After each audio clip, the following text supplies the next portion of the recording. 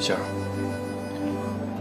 我这辈子做的最错的一件事，就婚礼当天跟你赌气牵了别人的手，跟你许下那么多的承诺，到头来都成了一场空。这个是我现在唯一能兑现的。虽然你知道自己在说什么吗？我知道，我爱你，杏儿，从来都没有停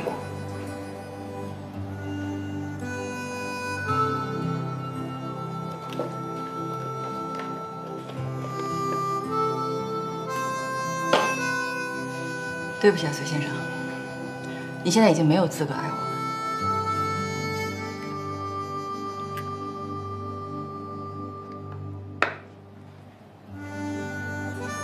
我的手呢，已经没有位置留给你这个戒指了。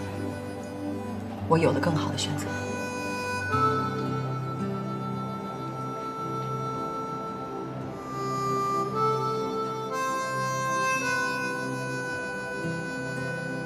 杏儿，你跟赵丹乔有爱情吗？这已经和你没有关系了。你现在应该关心的是你和你太太王露露是否过得美满和幸福。我们已经分居了，我从他那儿已经搬出来了。杏儿，我知道，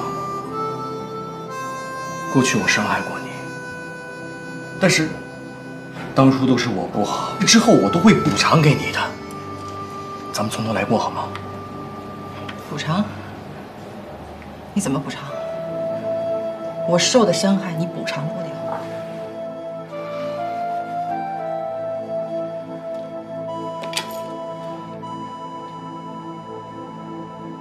这些是我全部的家当，都交给你，杏儿。后面公司还有一个很大的项目，我可以挣好几百万。杏儿，你给我点时间，你相信我，我一定可以办到的。给我点时间行吗？我真的不明白，显然，为什么到今天为止，你还觉得我做的所有的选择都是因为钱？在你选择跟王璐的结婚之后，你没有想象过吗？我要怎么面对我的同事？怎么面对我的家人、我的朋友，包括怎么面对我自己？你有没有关心过心儿？这些日子你没有我，虽然你过得好不好？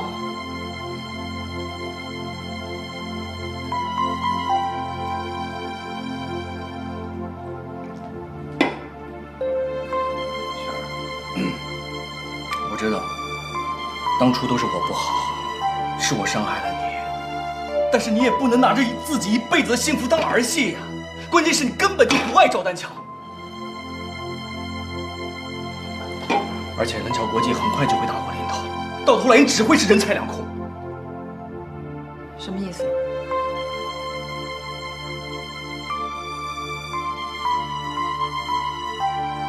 反正你别管了，我不会让你嫁给赵丹桥的，我也不可能让你嫁到这么一个肮脏脏的家庭。杏儿，你知道吗？如果这一次我们成功的话，我们以后就是蓝桥国际的股东，其他人都靠边站。但是杏一起来完成这个计划，好吗？虽然你已经疯了，我没疯，我这么做完全都是因为你。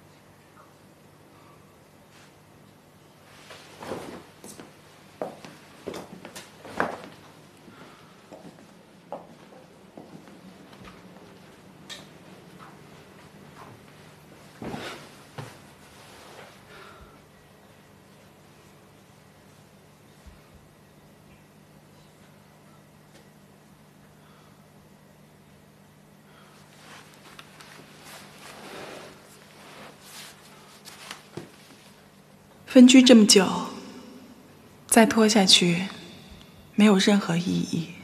这么多年，你从来都没有爱过我，除了结婚证，你什么都没有给过我。因此，没有财产纠葛，我们谁也不欠谁的。合约没问题的话，请你签好字后寄给我的律师。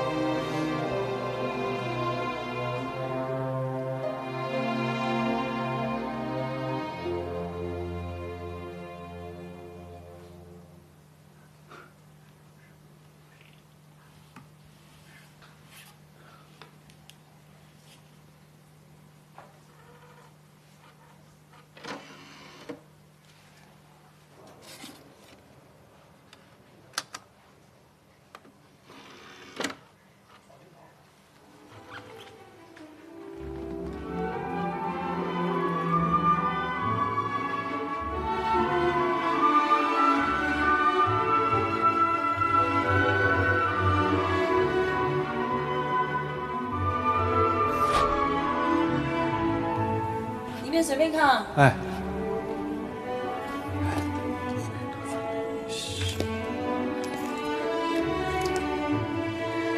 老板，这舒伯特的是正版的吗？啊，对的。这个李云迪，这是最新的吗？啊，对对对。哎，还有柴可夫斯基的悲怆啊！哎，星，你知道吗？这张盘我找了好长时间，好多家都断货了。行，这几张好说。这个柴夫斯基的悲怆都已经断货了，我找了好多家店都没找着，你就让我买吗？就你宿舍那破音响，听不出什么好音色吧？谁说不是呢？哎，学校拐角那家音响店，我每次拿了盘都去那儿试音，光试也不买，老板现在都烦我。好了，杰然，咱毕业以后好好工作，以后啊一起买一个最好最好的音响。真的啊？那到时候在咱们家的客厅摆一套最牛的音响，碰上下雨天呢，咱们一边喝着红酒，一边听着音乐。我给你起一瓶零八年的 Petrus。零八年的什么？Petrus。什么玩意儿？你就当葡萄汁喝就行了。哎，老板，全买了。你什么时候懂这个？